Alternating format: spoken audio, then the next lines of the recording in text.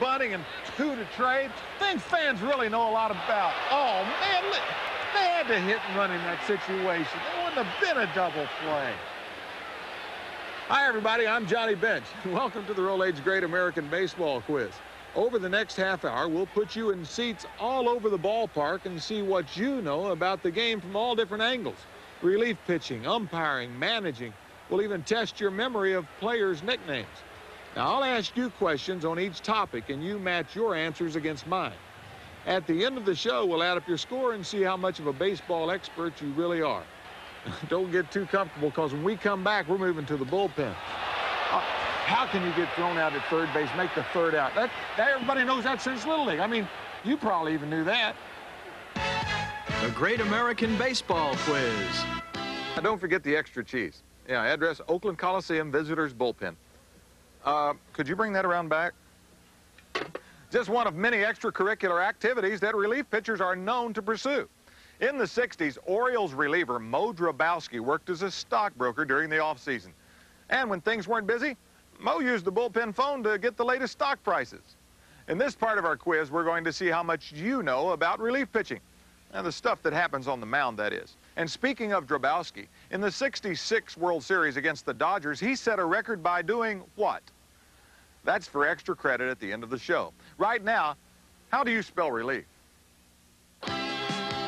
Remember, for each correct answer, give yourself one point. Let's begin with one of the busiest bullpen aces of the 70s. Reliever Mike Marshall was in constant demand. One year with the Twins, he pitched in 90 games to set an American League record. But do you know which reliever holds the Major League mark for appearances in a season?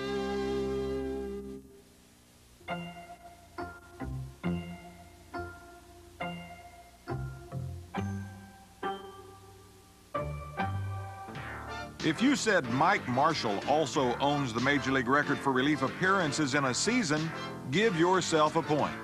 In 1974 with the Dodgers, he appeared in 106 games. Now this, who is the all-time save leader? Is it Bruce Sutter?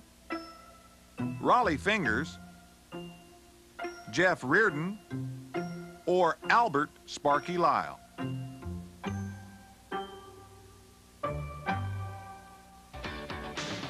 No reliever spelled relief with more saves than Rollie Fingers.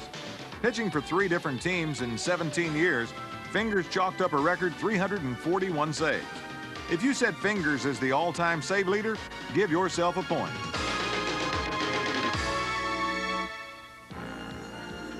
Detroit's John Hiller was more winner than savior in 1974 when he won 17 games in relief. Only one other reliever has ever had more victories. Can you name that reliever?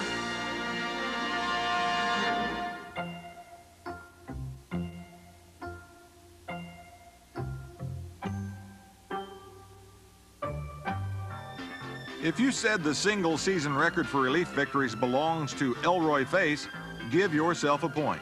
In 1959 with the Pirates, he sweetened his 10 saves with a record 18 wins. Now to the single season save leader. Who is it? Dan Quisenberry? Mark Davis?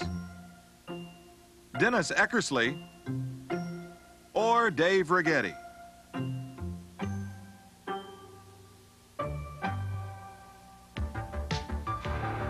If you said Dave Righetti holds the record for most saves in a season, give yourself a point. In 1986, his third year out of the bullpen, he topped Dan Quisenberry's all-time record when he collected 46 saves. In 1981, Rollie Fingers won the Cy Young Award and the MVP. True or false? He's the only American League reliever to win an MVP.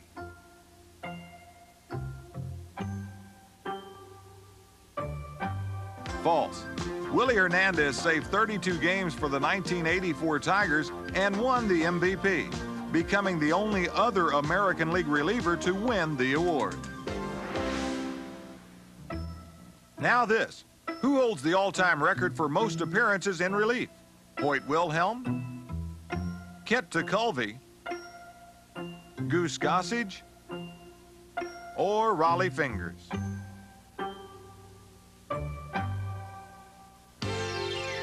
Kent Tekulve was a workhorse out of the bullpen. With his patented sidearm delivery, Tekulve pitched until he was 42 and retired with the all-time record for relief appearances, 1,050. Hoyt Wilhelm was a rookie in 1952 when he led the National League in ERA. True or false? He's the only reliever to win an ERA title.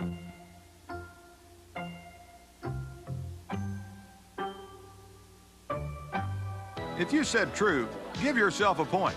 By the way, Wilhelm also won an ERA title as a starter with the Orioles. Now to hot starts out of the bullpen. Who owns the rookie save record? Dan Plesac? Todd Worrell? John Franco? Or Tom Henke? If you said Todd Worrell owns the rookie save record, give yourself a point. In 1986, his first full season as a Cardinal, Worrell collected 36 saves. The 1973 Oakland A's won the World Series with an outstanding pitching staff, capped by the redoubtable Rollie Fingers. But do you know the lesser-known middle reliever who made history by pitching in all seven games of that series?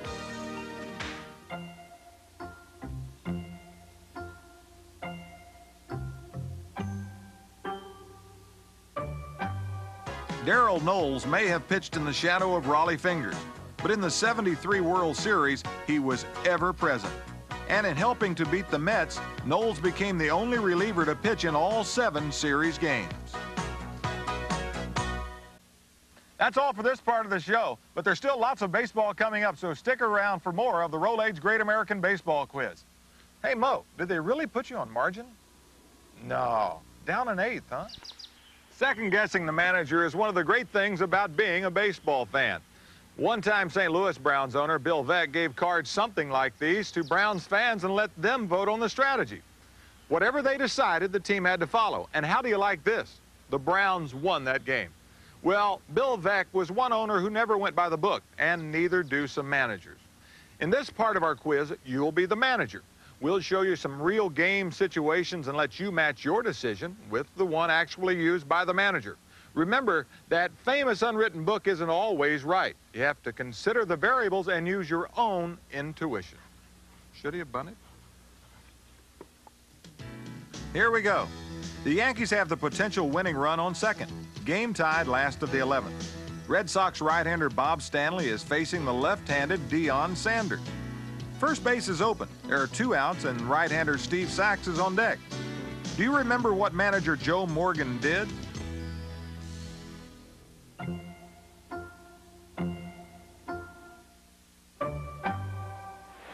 Give yourself a point if you said Morgan ordered a walk to Sanders. That set up a righty-righty matchup, which didn't bother Steve Sax much. And a base hit into center field, and that's the ball game. Yankees win it 8 to 7 in 11. In this case, so much for playing the percentages. Whitey Herzog's Cardinals are in a jam. The Atlanta Braves have tied up the game in the eighth and now have the bases loaded and are threatening to take the lead. What did Whitey do with Dion James up? Bring the infield in for a force at home or play back for a double play?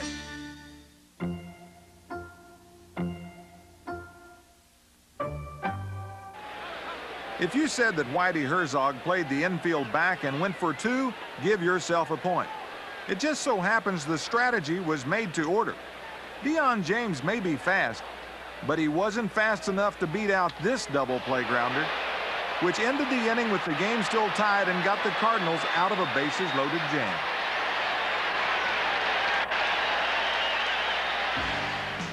Roger Craig's Giants are leading the Reds 4-3 in the top of the ninth.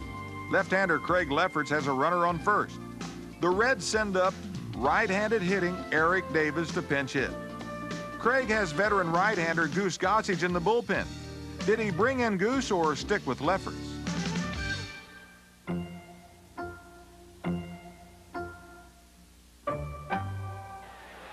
If you said Craig elected to bring in the right-hander Gossage to face the right-handed hitting Davis, give yourself a point.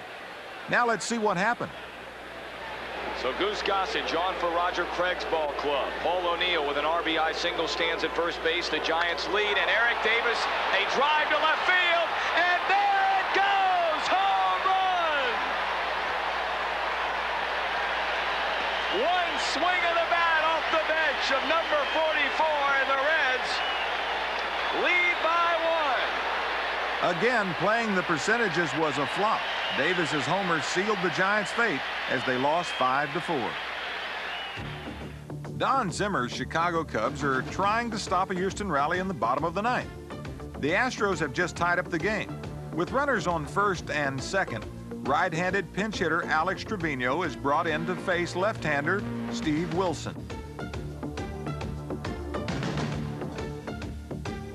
But Zimmer wants a righty-righty matchup and counters with right-hander Jeff Pico. In response to that move, Art Howe left-handed pinch hitter Harry Spilman. So far, both managers are playing the percentages. Remember, runners on first and second, last of the ninth, scores tied and there are two outs. Do you remember what unorthodox move Don Zimmer made?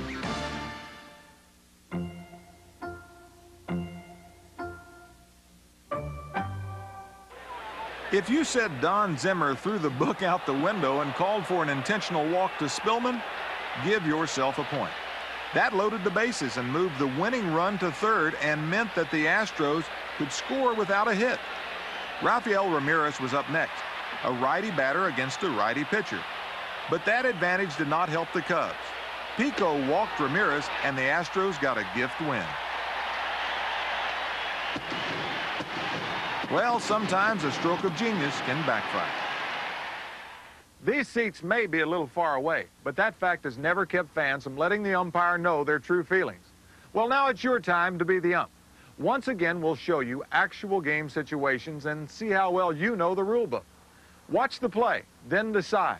If your call matches the umps, give yourself a point. The Phillies have a runner on first. Padres catcher Benito Santiago attempts to pick him off. But Santiago's throw hits Tommy Herr's bat. The runner sees the ball roll foul and goes to second. Is he allowed to stay there?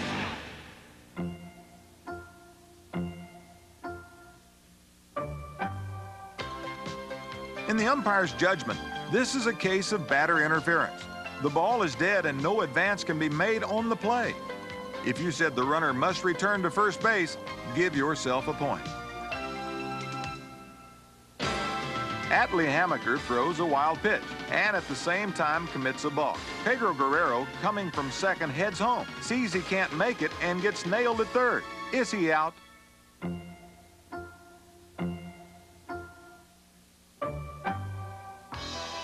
Since Hammaker balked and threw wild, Guerrero is entitled to one base. After that, he advances at his own risk. If you said Guerrero's out, call sticks. Give yourself a point. Now this. A batted ball gets past a diving Chris Sabo and hits the runner Ryne Sandberg. Is Sandberg out for running into a batted ball or is he safe?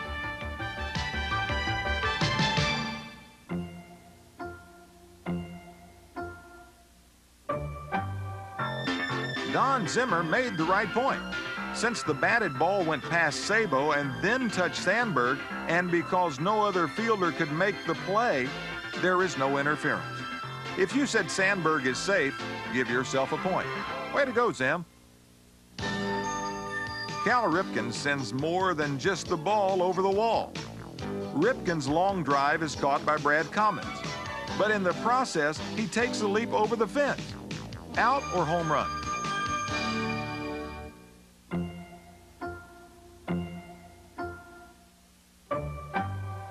I'll give this to my pals at the mic.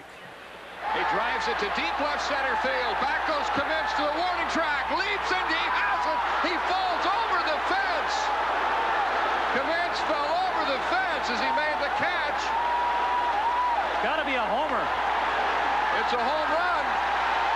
He made the catch, but since he left the ballpark, it's a home run. You've got to stay in the park. You can climb the fence, but you've got to stay in the park. If you go over the fence, it's a home run.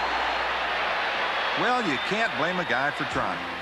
Now this. With a runner on first, it looks as though Bret Saberhagen will get out of the inning with a double play. But on his way to second, Greg Gagne runs into the ball. How do you rule?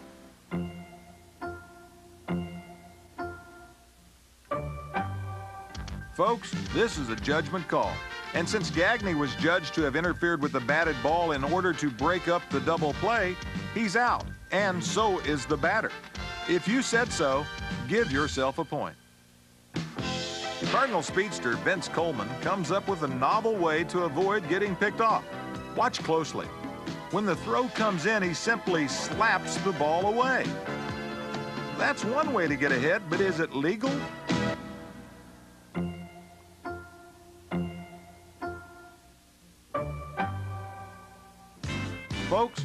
There's not much doubt about this one. Let me put it this way. Nice try, Vince, but interfering with the fielder is a definite no-no. How do you score that? You score it with an S. An S? You're Stupid. Oh. That wasn't too tough, was it? Stay tuned. We've got more of the Rolaids Great American Baseball Quiz right after this. Players, managers, even fans. Right here in the bleachers, if you're a regular, you're a bleacher bum. I didn't have a nickname when I was playing. Maybe by the late 60s, they were pretty much a thing of the past. At least names like Death the Flying Things Ferguson. in this part of the Rolaids Great American Baseball Quiz, we'll see how much you know about ball players' nicknames. Now, maybe there's some truth to what James Lamar Rhodes once said. You have to have a nickname to be remembered. Well, what was his? I'll tell you after we finish these. Enos Slaughter was a North Carolina tobacco farmer and one of baseball's preeminent hustlers. He hit 300 or better 10 times and landed in the Hall of Fame with an even 300 average. What was Slaughter's nickname? Can't believe you won't know this one. Country, Cornpone, Haystacks, or Mad Dash? Well, he was known for his Mad Dash, but that's not it. Neither is Cornpone or Haystacks. He was Enos Country Slaughter. Henry Louis Gehrig may have been a humble man, but he was such a legendary baseball figure, one nickname was not enough to do him justice. Do you know which of these was not a nickname for Gehrig? Larrupin' Lou, Durable Dutch, Iron Horse, or Old Biscuit Pants. Give yourself a point if you picked all of these nicknames, even Old Biscuit Pants. Left-handed pitchers have always been considered a little odd, and Bill Lee is no exception. He spoke his mind, and his mind was full of the unusual. Some wondered what planet he came from. What was Bill Lee's nickname? Starman? Spaceman? Rocket Man? Or Repo Man? Well, he wasn't Repo Man, nor was he Starman. Rocket Man's close, but if you said Spaceman, give yourself a point. Jimmy Wynn was only five foot nine, but he carried a big stick, and in 1974, his 32 homers and 108 RBIs helped bring the Dodgers a pennant. What was Wynn's nickname? Toy Soldier? Toy Boat? Toy Cannon? Or Toy Poodle? No one was named Toy Poodle, and he wasn't Toy Boat. With his explosive bat, Wynn was the Toy Cannon. My old skipper George Lee Anderson brought both of his nicknames to Detroit when he took over the Tigers in 1979. One of the nicknames we all know is Sparky. But do you know what the other one is? Captain Hook, Captain Bligh, Captain Kirk, or Captain Crunch. Captain Bligh's not it, and neither is Captain Crunch. Captain Kirk is the wrong planet. The answer is Captain Hook. Dwight Gooden got his nickname soon after he came up to the Mets in 1984 and set a Major League rookie record by striking out 276 batters. What is Gooden's nickname? Is it Special K, Mr. K, Dr. K, or Murray the K? Well, Mr. K and Special K aren't it, and Murray the K makes no sense. The answer is Dr. K. Pee the great shortstop of the Brooklyn Dodgers, was a champion marble shooter as a kid and got his nickname from the Pee Wee kind of marble. But the question is, do you know what Pee Wee's real name is?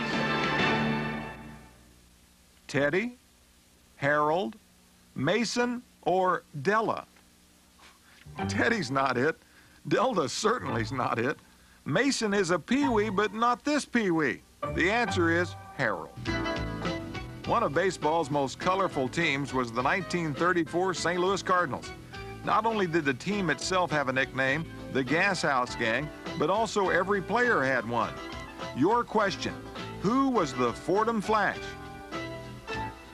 Frankie Frisch, Joe Medwick, Johnny Martin, or Jay Dean?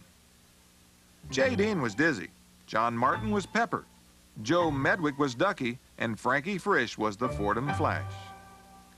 Whitey Ford came up to the Yankees in 1950, and for most of the next 15 years was the star pitcher on a team that won 11 pennants and operated with cool efficiency. Hence his nickname. What was he? Leader of the pack? Chairman of the board? Speaker of the House? Or soup of the day? I ordered the soup of the day, and it wasn't Whitey Ford. The answer? The chairman of the board. Luke Appling was a rare commodity, a shortstop who could hit. One year he hit 388 and became the first White Sox player ever to win a batting crown. What was Appling's nickname? Old Aches and Pains? Old Faithful? Old Man River? Or Old Yeller? These are all pretty good guesses, but with Appling's knack for complaining, he was called Old Aches and Pains. Remember that name earlier, James Lamar Rhodes? Well, his nickname was Dusty. That's right, Dusty Rhodes. That's it for this part of the show. Add up your score, and we'll be right back with more of the Roll Rolaids Great American Baseball Quiz. Eh, end of the game and the end of the show. Remember that extra credit question I gave you earlier in the show? Well, if you said Moe Drabowsky struck out a record 11 batters in relief in the opening game of the 1966 World Series, add on an extra point. Now it's time to total up your scores. If you got between 8 and 15 points, you are the meal ticket of baseball trivia buffs, Carl Hubbell. With your unhittable screwball, you struck out five of the game's greatest all-stars in a row and pitched your team to three pennants. If you scored between 15 and 20, you've earned the name Raja for Rogers Hornsby, the man with the picture-perfect swing who had over 400 three times. And if you scored more than 20 points, well, you're the Sultan of SWAT, the Georgia Peach, the Iron Horse, and the Splendid Splinter all rolled into one. Well, folks, that's all for this show. See you the next time on the Rolaids Great American Baseball Quiz. Me, I'm the zinger from Binger, Johnny Bench. Time to go home. The Great American Baseball Quiz.